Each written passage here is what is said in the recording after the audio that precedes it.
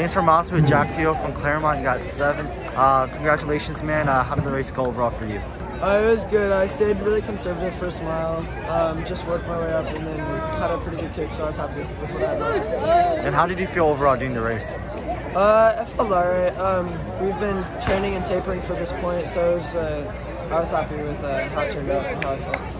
How's your training been uh, this week leading up to the race? Uh, really good. We all trust the program. Uh, the coaches, Reeves, Coach Chris, uh, they have a really good program.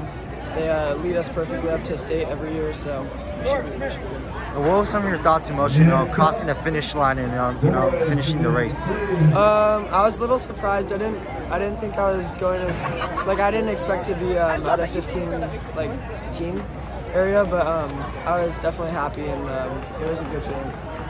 And how was the Woodward Park course for you? It's a it's a tough course. Um, there's definitely a lot of hills. I'm not like the best hill runner, but uh, I think I did all right with it. Um, it's a tough course though. And what was uh, your goal going to the race? Uh, my goal at, in the middle of summer was to get seventh at state or top seven. I got seventh, so I was pretty happy with that. And what are some things that you learned from your race today? Uh, probably to be conservative, not care too much about who's in front of you first mile, and just work your way up to where you want to be at the third mile. So. And uh, what did you do differently this year running at state from your experience from you know last year? Uh, last year, I think I got a 16, 17, so I was a minute faster, but I was just sick.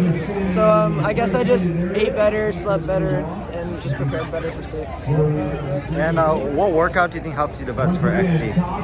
Um, I don't, I don't know if I'm allowed to say because my coaches get kind of mad when we say workouts, but Oh, okay. uh, we have we have some good workouts. Like mile repeats are fun, so and I, I feel like that really prepares us for this uh, course. So. And uh, how did you get into running?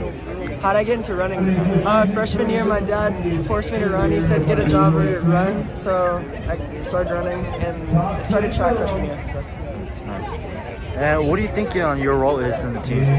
I think my role is to, I guess, just uh, kind of give good energy to the team, kind of get everyone like happy and, I don't know, uh, set, uh, lighten the mood, I guess. So, yeah. And what does it mean to you, if, you know, for your uh, you know team to you know finish you know top, and also for you the way you finished today? I'm I'm very proud. Um, I worked really hard this season, and I'm glad to see it paid off. So, yeah. Nice. And what's next for you? Hopefully nationals with the team. Uh, hopefully nationals in general, um, and then just training for track. So, and I have next year, so I'm excited. And what are some of your goals for track? Track. I want to go sub nine in the two. That'd be fun. Well, congratulations and thank you Thank for your you. time. Thank you.